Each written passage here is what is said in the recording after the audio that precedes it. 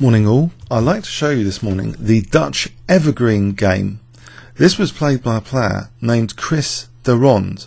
It was played in the Amsterdam Dutch Championship preliminaries of 1938.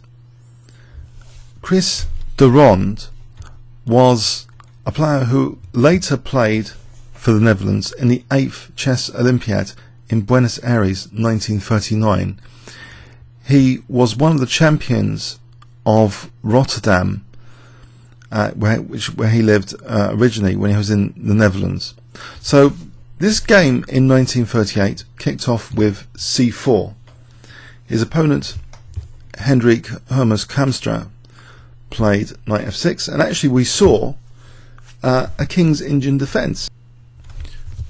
Black played g6 now, and after e4 we see d6, d4, bishop g7 and here the Saemisch variation f3 black plays now knight bd7 bishop e3 e5 and now white plays d5 now black's uh, plans here are often for example playing for f5 later and trying to keep the tension and trying to play on the queen side sometimes. But here we see black playing with quite a fixed pawn structure we see a5, just trying to secure the knight on c5 really. Queen d2 now b6. The problem with this is it's a very fixed uh, structure here. And now white even clamps down on the king side, so taking away black's f5 uh, plans altogether. If black had played, by the way, knight h5 earlier, then there might even be a pawn sack on f4 just to liberate the bishop in some instances. But here, okay, uh, black's pawn breaks have been absolutely minimized. It's quite a locked down uh, structure. Very, very closed position. So we have this position now where black plays h5 and it gets even more closed. g5, knight fd7, queen c2. Okay, so not much going on at the moment and maneuvering can be played without too much punishment. Time isn't a major issue. That's one of the beauties of these kind of closed positions. You can do a lot more maneuvering so castling queenside, knight ba6, a3, stopping that knight b4, bishop d7. Black is interested in establishing a4 to get this b3 square and immobilize white's pawns here.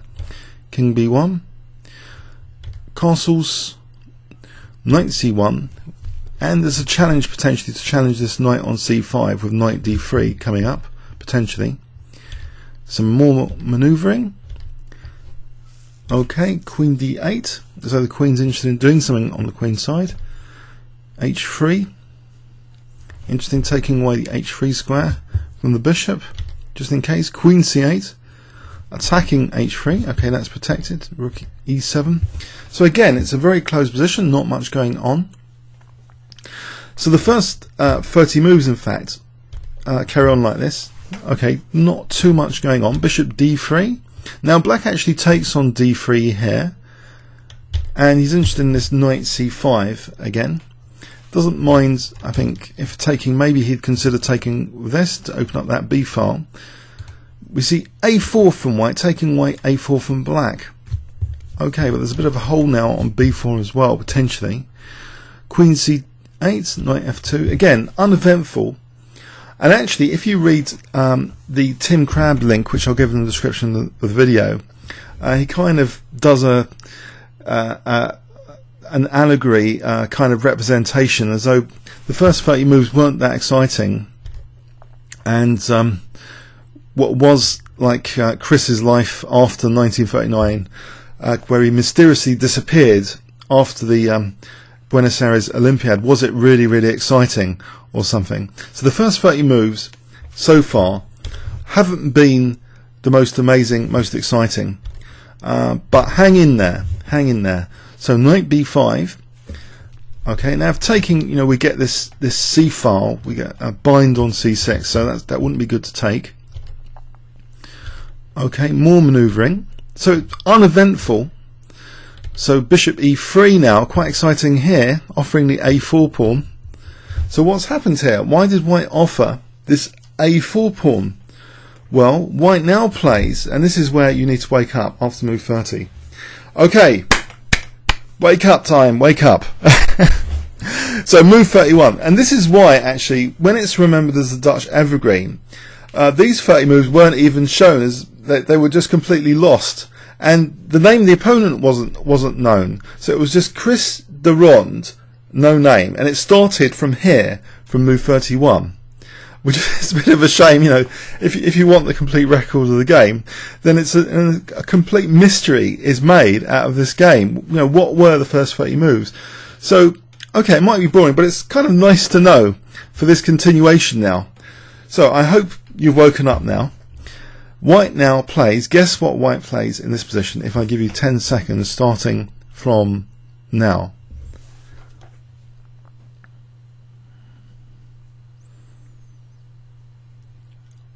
Okay, white plays knight g4. So he wants to like get this h file going against the king. The queen's over here, stuck over here. If Kasparov looked to the position with that queen over there, he'd be thinking, how do we, you know, get to the king here? We've got an uh, advantage in, in material attacking the king here. Attackers versus defenders. Now, if it's not taken, then maybe knight f6 starts to look a little bit dangerous. Okay, but black does take it. I mean, possibly it's best to, to ignore it anyway. And let's not put it under engine scrutiny. Let's just let's go with the game for a moment. HG HG. So we've got this H file, and the question here is, uh, usually with the fianchetto bishop, usually there's enough defensive resource uh, not to worry too much. The bishop handles key squares, and the king has also got, in theory, an escape plan uh, to get out of danger here. So what happens here, which which is difficult, makes it to make things difficult for black. Queen h4, so nothing immediately on the horizon. The bishop is covering that h8 square. Black even starts the evacuation plan with king f8. Queen h7, holding on to the king, stopping it going to e7 because g7 will be dropping off. So that's the first issue. Okay, so black puts the knight back on c5. If given time, you know, black's going to arrange an attack of, of himself. You know, maybe even c6. No, that's too dangerous. Um, not c6, but um, given time, black's surely going to do something here with the extra material. But how to get to this king? Isn't White's tracks, uh, White's attack stopped dead in its tracks at the moment? It looks like quite a blocked position. Guess what White plays in this position if I give you 10 seconds starting from now?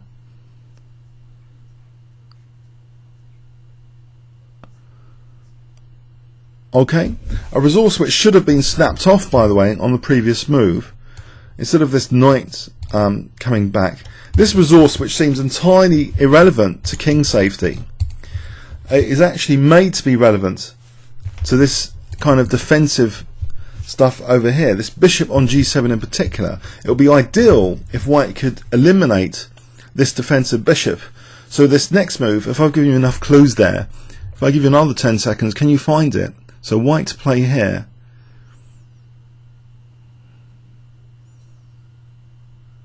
Okay.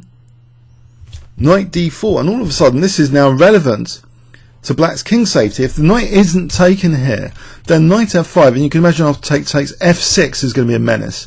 These pawns will be connected, and there'll be a mating net around the black king.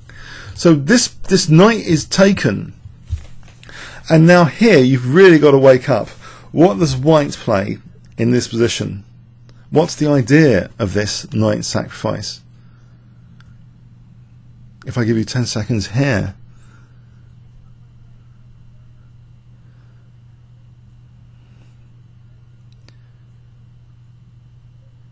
Okay, queen sacrifice. Queen takes g7. Check. So eliminating the defender, do, trying to dominate these dark squares. If white can dominate these dark squares, that will uh, be a mating net potentially. King takes, bishop takes d4. And already, you know, it's really, really dangerous. If the king steps back, then it looks as though bishop f6 uh, is a mating net.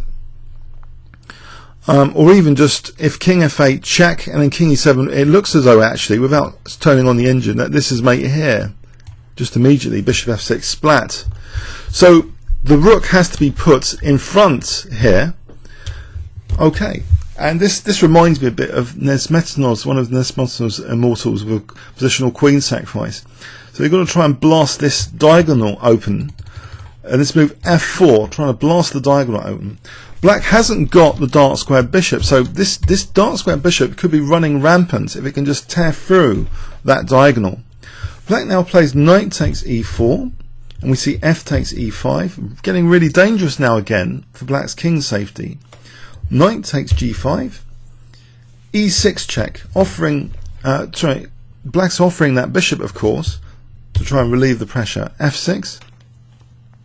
Now, interestingly, white doesn't take uh, the bishop. He plays actually rook f1. So he really wants to keep this. Maybe this pawn's quite useful as an attacking resource for a moment. He wants to try and win this and break through with a mating attack. Okay, so black defends with rook f8. And now, only now, white takes the bishop. And all of a sudden, there's a, a threat of d8 potentially on the cards if this rook can be deflected away from d8. Uh, so rook takes f6 or bishop takes f6 is, is dangerous. Um, actually, what what is the actual top threat? I'll just switch on an engine here to just tell you the top threat concretely. The top threat is actually rook takes f6. So it's a very, very dangerous position here. Uh, so black tries to defend against this pawn uh, advancing as well. But now hammer blow is played anyway. So even without d8 now apparently being extinguished uh, because of this last move, white still plays, I guess you can guess it here, rook takes f6. So what is going on here, you might ask? Well, it's celebrating the pin. After rook takes f6, we celebrate the pin here remarkably, I mean, this is this is quite beautiful because you might think, well, there's a defensive resource here. If we try and celebrate the pin now with rook f2, isn't there the defensive resource knight e4 or any you know knight h7? Well, okay. In the game, we actually see knight e4, which apparently, um, according to my uh, engine here, is actually the best move. Knight h7 is not so hot as knight e4. Um, so, but let's go with knight e4. And in the game we see rook takes f6. Okay, and what's the point? The point is revealed now. The point is that if black dares to take on f6, we have g5, which will help this pawn promote. Let's have a quick look at this. Knight takes f6, g5. And how does black actually stop winning this uh, knight and then queening the pawn here?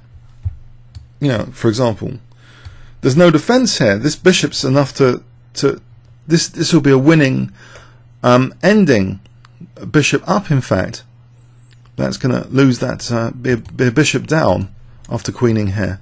So this is spelling a disaster for black. Uh, this position after g5. So we see, sorry, rook takes f6, queen d8 is played.